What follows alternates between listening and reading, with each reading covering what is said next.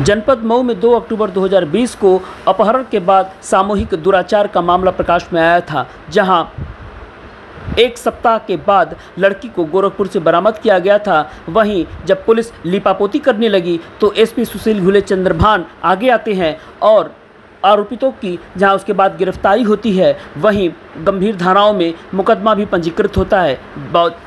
इसके बाद दोबारा जब बच्ची गायब हो जाती है, उसके बाद पुलिस अपनी लाल फीताशाही शुरू कर देती है और पीड़ित पक्ष परेशान होना शुरू हो जा, हो जाता है। वहीं न्यायाधीश मऊ के आदेश के बाद, जहाँ तीन साल बाद आरोपितों के खिलाफ एफआईआर दर्ज करने का मामला प्रकाश में आया है, वहीं इस पूरे मामले में सरकारी विभाग के कुछ लोग भी सामने आए हैं।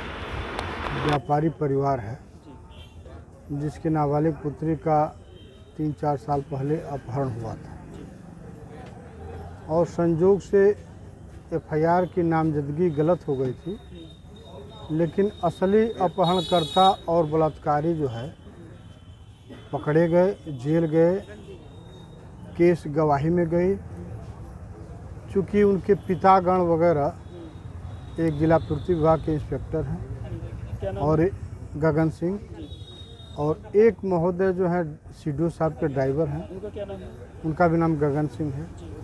तो ये लोग इनका प्रशासन और पुलिस पर दबदबा है, पकड़ और पहुँच है।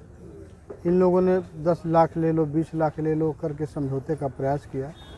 लगा कि अब समझौता नहीं हो पाएगा, इन लोगों ने उस लड़की को दोबारा गायब करा दिया। और दोबारा गायब कराने के बाद पीड़ित परिवार, IG, DIG, DGP, high court का चक्कर काटता रहा। उसे कहीं से न्याय नहीं मिला। वर्तमान सीजीएम महोदय इंसाफ पसंद अधिकारी हैं। और उन्होंने मामले को समझा और एफआईआर दर्ज करने का आदेश दिया। एफआईआर दर्ज करने के बाद अभी तक मैं समझता हूँ कि पुलिस प्रशासन हरकत में नहीं है।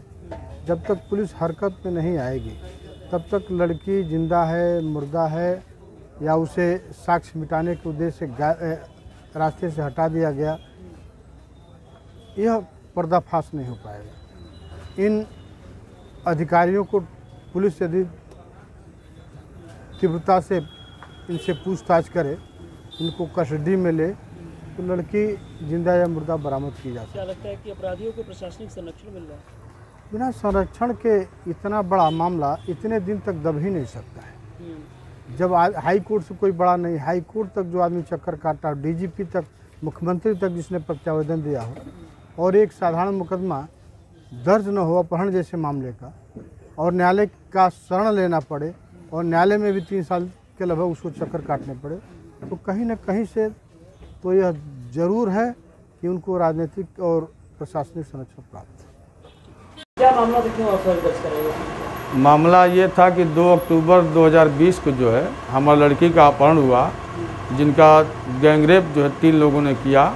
एक शुभम सिंह, जिनके पिता जो है गगन सिंह सीडीओ के ड्राइवर हैं, और दूसरे आयुष सिंह, जो उनके भी पिताजी का नाम गगन सिंह है, जो सप्लाई विभाग में इंस्पेक्टर हैं, और तीसरा अविनाश विश्वकर्मा है एक जो वहाँ पे होटल का कीपर था। हाँ ये लोगों ने गैंगरेप किया बलिया मोड़ पे। उसके बाद जो है कि हमारी लड़की एक हफ़्ते बाद जो है बरामद हुई। बरामद हुई गोरखपुर से और जिसका जो है कि आने के बाद लड़की का जो बयान दिया गया है, वो कोतवाल ने उसमें जो है कि लिपा पोती करने चाहा तो हम एसपी के यहाँ भाग के गए। एसपी सुशील घुले थे और उन्होंने कहा कि आश्वासन दिया कि जाइए, आपके साथ न्याय होगा। लड़की जो बयान देगी उसी के आधार पर रिपोर्ट दर्ज होगी और रिपोर्ट दर्ज हुई, तब जाके मुकदमा चला। और दोबारा हमारी पुनः लड़की जो है, एक साल बाद चौबीस छः दो हज़ार इक्कीस को अपहरण कर लिए लोग। उस दिन गवाही थी और जो है कि इसलिए किए कि मतलब जो कि हमारा लड़का जो है साक्ष्य के अभाव में बच जाए, गवाही ना हो पाए, इसलिए जो है कि लड़की को हमारे दोबारा अपहरण कर लिए। जो अभी तक नहीं मिली तीन साल हो गया। तो आप पुलिस के पास गए थे इसकी शिकायत दर्ज करवाने हाँ गए गए थे एसपी के यहाँ गए थे शिकायत मैंने दर्ज कराई कोई कार्रवाई नहीं हुई। और ऊपर कहाँ तक गए थे वो कोई कार्रवाई नहीं हुई। एक सौ छप्पन तीन मैंने न्यायालय से किया जो दो साल मुकदमा चलने के बाद जो गए अब जाके एफ़ करने का आदेश दर्ज हुआ है।